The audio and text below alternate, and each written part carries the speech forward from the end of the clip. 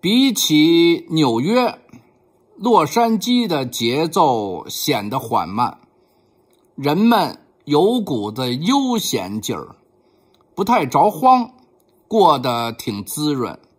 四季几乎没有差别的温热气候，使人产生懒洋洋的感觉。我一九九一年刚到洛杉矶时，借住在朋友李家里。李四十出头了，单身，是个大酒鬼兼大情圣。单身啊，我们一伙人常喝的哩了歪斜的，哩了歪斜啊。我第一次喝马丁尼啊，马丁尼就是他推荐的。他刻意隐瞒了马蒂尼之威力，说一口喝干才过瘾。我一连干掉了四杯，就趴在台子上了。那是一家墨西哥人开的酒吧，有个小舞台，我们就坐在舞台边上。漂亮的女歌手。在乐队的伴奏下放声歌唱，我时不时抬起头来给女歌手伴唱，嗷一嗓子，像狼。李指着我对歌手说：“他喜欢你。”歌手说：“我也喜欢他。”你把他带走吧。好啊，但不是今晚。最后，我是被李。和 Sam 架走的，一边走还不忘了给歌手助唱，嗷，像狼一样。这儿有一个照片，不知道是不是这位啊？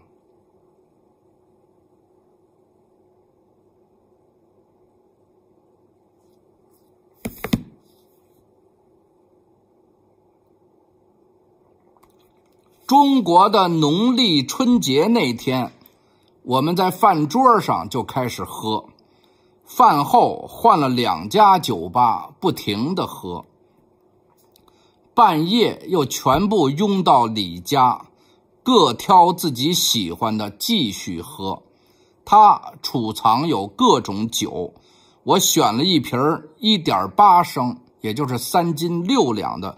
超大瓶的日本清酒，喝的一滴不剩。我们横七竖八躺在地毯上，都醉了。纽约的朱老板打来电话问候我，我李他的朋友李接起电话，对我喊：“小杨找你的。”然后就挂断了。我在另一头，他给人挂了，喝多了给人挂了，给挂了。我在另一头支起上半身手抓空气，做卧听筒状啊，假装打电话，以为哈就是晕了，放在耳边继续打鼾。我来的第三天，他开车带我出门，我问去哪儿，他说带你考驾照去笔试啊。我什么都不知道啊！后座上有本笔试的题解，你翻翻。翻了二十分钟，车管所就到了。我考了个不及格，考了个不及格啊！当我拿着试卷去柜台约下次考试时间时，柜台里的黑人兄弟。满面笑容，看都不看，就给盖上了通过的大章。他都没看那黑人哈，以为过了，就是也是那种官僚主义啊，马大哈呀，糊弄啊，或者是是吧？反正啊，我买的是一辆马自达三二三的二手车，已跑了八万多英里，一千五百美金啊，很便宜啊，是吧？谁有空了？就来陪我练车，经常来的是 Kevin 老同学小林的丈夫。事先小林给我打了预防针儿，如果 Kevin 骂你，你可千万别介意呀，他就这脾气。小林开车就是 Kevin 教的，老被骂，可 Kevin 一次也没骂过我，还教了我许多考试的窍门不是我开的好，而是夫妻不能互相教开车。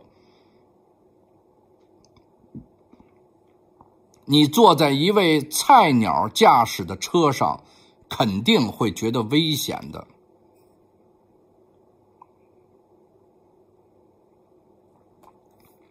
夫妻之间无顾忌，张嘴就能骂，但对朋友就是另一个样了。两个月后，我顺利拿到了驾照。第二天是周末，阿成叫我去吃饭。我开上车就进了高速公路。第一次在高速路上驾车，很刺激，兴奋加害怕，全身僵硬。对对对，九十年代我第一次开车上首都机场高速，啊，也是挺害怕的，紧张。第一次开下来，特别兴奋，也有满足感、成就感，也肯定自己了。他说这个我有感觉。是吧？我也是好几十年的老司机了，嗯，聊到深夜两点钟，打道回府，路上几乎没有车，心情也放松了，一高兴唱起革命歌曲来：“红军不怕远征难，万水千山只等闲。”是吧？还有什么来着？“五岭逶迤腾细浪。”什么乌蒙蓬勃走泥丸，更喜岷山千里雪。岷山啊，三军过后尽开颜，是吧？这毛泽东诗词哈，不管你喜欢不喜欢毛泽东，但是那些诗词啊，是吧？对，像我们这个七零后啊，他们可能是六零后或者五零后，哎，更是有感觉啊。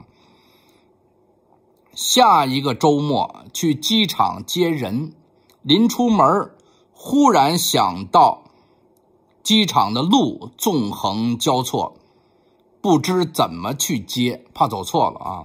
于是赶紧打电话咨询，一个朋友告诉我，路牌上有图，机头朝上，飞机头啊朝上是送人，机头朝下是接人。我又是一路高歌去了机场，看图认路。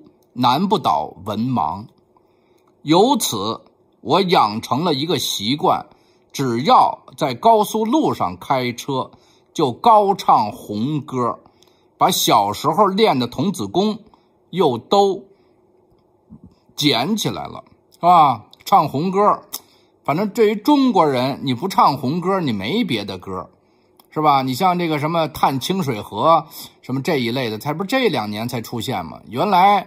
对不对？你唱这些靡靡之音，这些是吧？不允许，哎，甚至关监狱，对吧？